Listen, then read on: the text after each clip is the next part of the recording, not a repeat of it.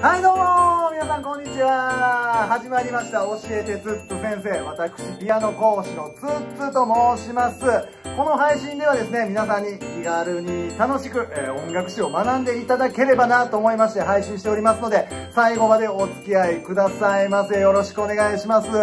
それでは参りましょう。本日はルネッサンスパート 2! とね、ルネッサンスすごいね僕好きすぎて。ルネッサンスが好きなんですよ。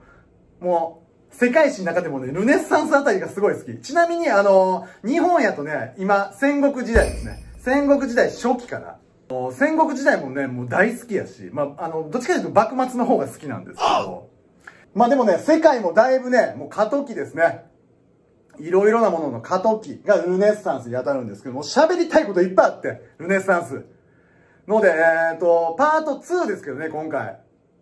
パートもしかしたら15あたりまでいっちゃうかもしれませんが みんな最後までついてきてね、よろしくお願いします。それではね、もうルネッサンスの作曲家といえば、もうね、クラシック勉強してない僕でも知ってます。ジョン・スカン・デ・プレさん。みんな聞いたことあります？ジョン・スカン、さっきジンギスカンとか言うてたけどね。ジョン・スカン・デ・プレさんね。彼は音符の主。前回あの、宗教改革のお話しした時に、ルターって出たと思うんですけど、もうルターさんがジョン・スカンデプレさんに、彼は音符の主だと言うております。何音符の主って？会うたことないわ、そんなやつ。でね、ちなみにね、あの、ルネサンスといえば、絵画で言うとミケランジェロとかね。ミケランジェロは有名でしょ？あと、レオナルド・ダ・ヴィンチ。モナリザの。ジョン・スカンさんはミケランジェロとかダ・ヴィンチさんとも横並び。でもミケランジェロとかラフィーチに比べるとちょっとね、やっぱり、あの、影薄いけど、もうすごいの。もう超、超すごい作曲家さん。ジョン・スカンデブレ。クラシックの話の、になってくると、何々派とかあるやん。何々派。こんなん覚えんでいいねんけど、覚える必要ないと思うんですよ、僕も。ただね、こういうのを知ってると、あの、ルーツ僕、たびたびね、この配信でルーツって言ってますけど、ルーツ辿るに非常に便利なので、あの、一応ね、フランドル学派っていうところに所属してます、ジンギスカン。ジンギスカンってジョン・スカンディブレイさんね。このね、フランドル学派っていうのは、もともとね、ブルゴーニュ。あの、ワイン好きな人やったら知ってるでしょ？フランスのブルゴーニュ。ブルゴーニュ学派っていうのがね、もともとありまして、まあ、当時はね、ブルゴーニュ公国っていうのが、まあ、フランス、ドイツ、まあ、あの辺ですね。収めてたんですけど、まあ、それがどんどん発展していくと、フランドル学派というところに落ち着きます。でね、ジョン・スカンデプレさんこれ何がすごいって、パロディミサっていうのをすごいやり出したのよ。宗教音楽でやりましたね。ミサ。お祈りするときに歌う曲。まあ要はね、あの当時って、教会音楽がものすごい衆なんですよね。いわゆる今で言うポップスとかっていうのもあるんですけど、まあ認められてないのよ。教会音楽がこの世のすべて、音楽のトップは教会音楽。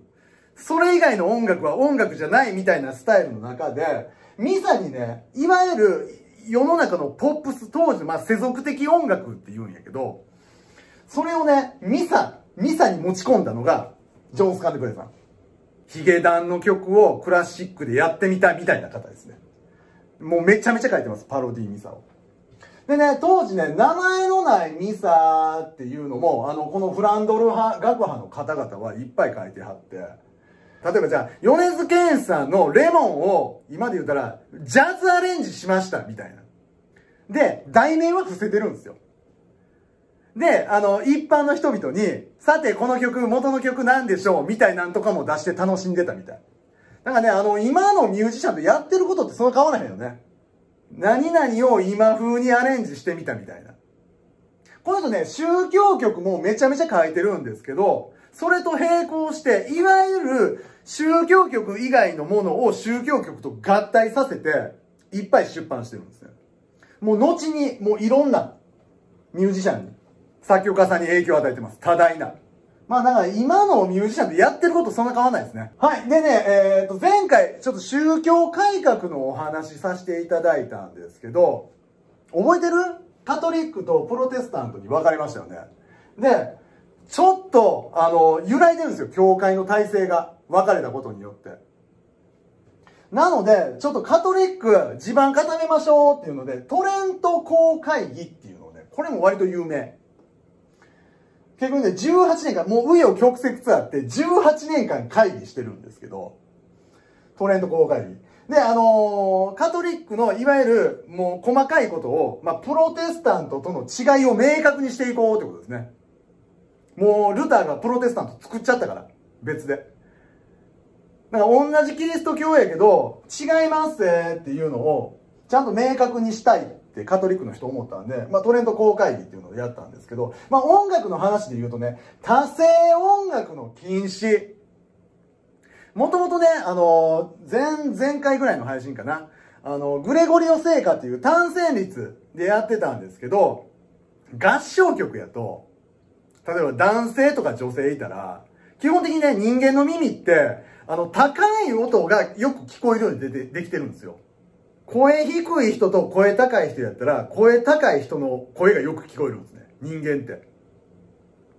で、音楽も一緒で、もうこの辺のね、ミサの曲とかって超複雑になってるから、あの、歌詞が聞き取られへんっていうクレームがめちゃめちゃあったんですって。ミサがすっげえ複雑になってきてるから、あの、多声音楽禁止にしましょうっていうのがこのトレント公開で決まったんですね。まあ、いっぱい決めてますよ。音楽的な内容で言うと多声音楽の禁止。単線率のグレゴリオ聖歌への回帰っていうのを目論んでたんです。まあ、要はもう複雑になりすぎて、今やったらさ、マイクのボリュームとかで、あの、メインの人とハモリの人とかの音量差ってつけていくけど、これ自体はね、あんまりあの、強制力はなかったらしいんですけど、ここでね、教会音楽の父、パレストリーナさん。パレストリーナ。多声音楽でもね、あの、しっかり、もう緻密な計算に基づいてハーモニーを作っていったり、歌詞とかを割としっかり同じリズムではめていくっていうことをしていったら、歌詞も聞き取りやすいんじゃないのかっていうのを試していって、この禁止された時にね、まあ、この人も教会の音楽ずっと作曲してる方なんですけど、パレストリーナ。作ったんですよ。多声音楽の曲を。で、それがね、もう、理想的やったらしいです。カトリック教会的に。ものすごい理想的な、多声音楽あかんよって言ってたカトリック教が、これやったらいいっていうのをね、何、何曲も作ってて、まあ一曲代表曲もあるんですけど、雇用式って呼ばれてるみたいです。今で言うと雇用式。すごいシンプルなハーモニー。だから要は、この頃、もう歌詞とかリズムとかがふわふわしてて、みんなでわーってやってる感じやから、あんまりね、ほんまに歌詞聞き取りにくいと思います。ただパレストリーナさんはしっかり歌詞はこのリズムで、なおかつハーモニーもこれでしっかりやりましょうっていうので、あとね、ハーモニーをこう緻密に計算されてるので、美しい響き。すごい荘厳な感じですね。で、あと皆さん、大砲ってね、聞いたことないかな、音楽で。大砲。バッハとかの時代に確立するんですけど、要は、このメロディーに対してこのハーモニーっていうのをを、あの、厳密に決めたのが大法って言って、未だにクラシックとかでもしっかり習うんですけどね。まあ、作曲法やね、作曲法。大法の元を作ったような感じですね。まあ、あの、バッハにめちゃめちゃ影響を与えてます。音楽の父、バッハに、まあ、バッハさんが大法を作ったんですけど、バッハに多大なる影響を与えたのがこのパレストリーナさん。ルネッサンス時代の、まあ、代表的な作曲家でいうとこのジョン・スカンデプレさんと、パレストリーナ。まあ、このお二人覚えといた方がいいかなと思いますね。フランスのお話させていただいたんですけど、イタリア、いきますとね、マドリガーレという音楽。まあみんな聞いたことないよね。世俗的な合唱曲なんですけど、教会音楽とはちょっと違う民衆、民衆のための音楽みたいな。がマドリガーレですね。イタリアの話です。オブリガードは、あのー、メロディーとメロディーの合間に埋めるやつ。オブリガードはね。僕が言ってるのはマドリガーレですね。歌詞がメインなんですよ。もうオペラでしょ。歌詞が大事。マドリガーレは歌詞が大事なんですよ。で、要は、天に昇るみたいな歌詞があるとしたら、メロディーは上行にするんですって。上行って上向きね。上にどんどん登っていく。で、僕めちゃめちゃ悲しいですっていう歌詞の場合は、メロディーを下にする。とか、暗い気持ちの時には暗い和音。明るい気持ちの歌の時には明るい和音。使ったりしてるんです。要はね、歌詞によ、メロディー主体じゃないです。だからね、今のポップスで言うと、まあ僕らも曲作ったりしますけど、歌詞線ってやつやね。歌詞先行。歌詞に合わせて音楽を作っていく。のがこう間取りが。楽譜的にも、ちょっと芸術性を持たせてて、例えばなんか、歌詞的に風景が暗い夜とかの曲、この曲は夜っぽい曲ですよの時には、ものすごく細かい音符書いて、譜面を真っ黒にするとかね。なんかそんなんやってたみたいです。だからね、あの、目の音楽って言われてるみたいです。目で見て楽しめる、楽譜が。これね、マドリガーレですね。でね、マドリガーレさん、マドリガーレさんちゃうわ。マドリガーレの音楽の、でもまあ第一人者じゃないけど、まあ有名なんでね、ジェズ・アルドさんっていう方。まあこれも知らんよね。これね、ジェズ・アルド。めちゃめちゃ面白い、この人。この人面白いし、あの、今、今の時代に割と影響を与えてるというか、この方ね、あの、もともと公爵なんですよ。イタリアの。公爵さんなんですけど、美人の嫁さんもらうんですよ。当時の王国の。で、美人の嫁さんもらって結婚するんですけど、あの、嫁さん美人やからめちゃめちゃ浮気するんですって。いろんな男と。で、ある日ね、ちょっと遠方に一週間ぐらい、あの、狩りに行ってくるから家開けますって言うて、あの、奥さんにね、ちょっと家開けますわ。まあ今で言うたら、ちょっと出張行ってくるって奥さんに言うて。で、行くじゃないですか。で、もう、ジェズ・アルドは、嫁が浮気してるっていうのを知ってるから、手下を引き連れて、引き返すんですよ。家に。そしたら、嫁が家で、あの、浮気相手と、まあ、嫌なことをしてて、そのまま、あのー、嫁殺すっていう、ね、割とね、劇場化。もうメンタルやべえ、やべえやつ。で、まあ、このジェズ・アルズさんのそのエピソードは、あの、諸説いろんな資料残ってるんですけど、あの、結構、あの、わーなっちゃってて、あの、言えないの。ここでは言えないので、皆さん、おのおの調べてください。あの、嫁のお父さんが、あの、怒って家に来て、そのまま、それも殺すとか、ね。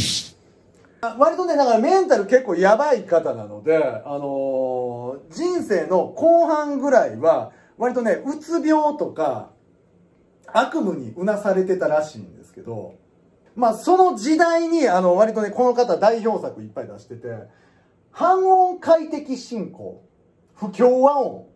要はね、あの、ピアノをイメージしてもらったら、ピアノの低い部分、バーンごちゃごちゃって鳴らして、半音やりましたよね。僕のこの教えてつつ先生で半音。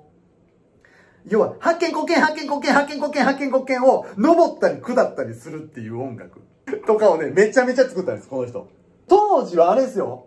パレストリーナさんがシンプルなハーモニーで美しい響きを作ってて、それが一番イケてるとされてる時代に、超濁った本、半音快適進行とか不協和音。もうこの人人生のあの後半はこんな曲ばっか書いてます。もう病んじゃって。